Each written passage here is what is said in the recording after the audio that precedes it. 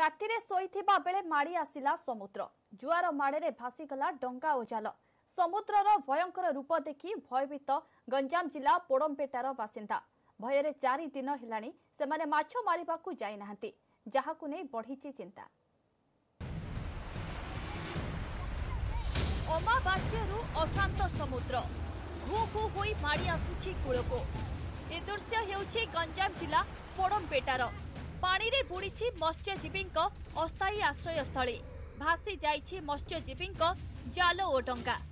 ସମୁଦ୍ର ଅଶାନ୍ତ ଥିବାରୁ ଗତ ଚାରି ଦିନ ହେଲା ମାଛ ମାରିବାକୁ ଯାଇନାହାନ୍ତି ମତ୍ସ୍ୟଜୀବୀମାନେ ଆଜି କାଲି ନୁହେଁ ଗଲା କିଛି ଦିନ ହେଲାଣି ଏମିତି ରୁଦ୍ର ରୂପ ଦେଖାଉଛି ସମୁଦ୍ର ବାରମ୍ବାର ସମୁଦ୍ର ଗାଁ ମୁହାଁ ହେବା ସହ ଜାଲ ଓ ଡଙ୍ଗା ନଷ୍ଟ କରୁଛି ଏହାକୁ ଦୃଷ୍ଟିରେ ରଖି ଜାଲ ରଖିବା ପାଇଁ ସମୁଦ୍ର କୂଳରେ ସ୍ଥାୟୀ ପକ୍କା ଘର ନିର୍ମାଣ କରିବାକୁ ଦାବି କରିଛନ୍ତି ପୋଡ଼ମ୍ପେଟା ବାସିନ୍ଦା ପାଣି ଟିକେ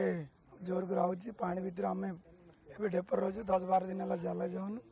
ଏବେ ସରକାର ଟିକେ ଆମକୁ କ'ଣ ହେଲେ ସାହାଯ୍ୟ କର ଜାଲ ଡଙ୍ଗା ରଖିବାକୁ ମାଛ ଆମେ ମାରିଲେ କିଛି ଯେଉଁ ବାଟ ଯିବାକୁ ରାସ୍ତା ମିଶେ ନାହିଁ ଆମେ ଟିକେ ସରକାର ସାହାଯ୍ୟ କର ଅସୁବିଧା ସମୁଦ୍ର ମାଡ଼ିକିରି ବାର ଆସୁଛେ ଆମ ବେଶ ଅସୁବିଧା ହେଉଛି ଜାଲ ଯାଉନି କିଛି ଯାଉନି ପରିବାର ବଞ୍ଚିବାକୁ ବେଶୀ ଭୟ ଲାଗୁଛି ଜାଲ ଡଙ୍ଗା ସବୁ ବାସ୍କିରି ପଳେଇଲେନି ଫାଇଲିନ୍ ପରେ ବାସହୀନ ହୋଇପଡ଼ିଥିଲେ ପୋଡ଼ମ୍ପେଟା ଗ୍ରାମବାସୀ ସରକାରଙ୍କ ପକ୍ଷରୁ ଗାଁଠାରୁ କିଛି ଦୂରରେ ସେମାନଙ୍କୁ ପକ୍କା ଘର ଯୋଗାଇ ଦିଆଯାଇଛି ଘର ମିଳିଲା ସତ ହେଲେ ସେଠାରେ ଆବଶ୍ୟକୀୟ ସୁବିଧା ନାହିଁ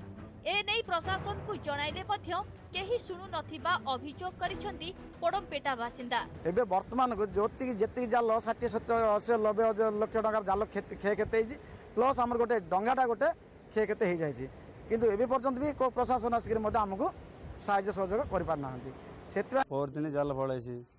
ডঙ্গা টিকে ନଷ୍ଟ ହେଇଯାଇଛି ଟିକେ ଅସୁବିଧା ହେଉଛି ଆମକୁ ଜାଗା ଦେଲେ ଜାଗା ଦେଲେ ଆମ ଜାଲଟେ ରୋକିବାକୁ ହବ ଆମକୁ ବେଳକୁ ବେଳ ଅତି ଭୟଙ୍କର ହେଉଛି ସମୁଦ୍ର ତେଣୁ ଏହାର ସ୍ଥାୟୀ ପ୍ରତିକାର କରିବା ସହିତ କ୍ଷତିଗ୍ରସ୍ତ ମତ୍ସ୍ୟଜୀବୀଙ୍କୁ ତୁରନ୍ତ କ୍ଷତିପୂରଣ ଯୋଗାଇ ଦେବାକୁ ଦାବି ହୋଇଛି ଗଞ୍ଜାମ ଜିଲ୍ଲା ପୋଡମ୍ପେଟାରୁ କୈଳାସ ବେହେରା ନ୍ୟୁଜ୍ ଏଇଟିନ୍ ଓଡ଼ିଆ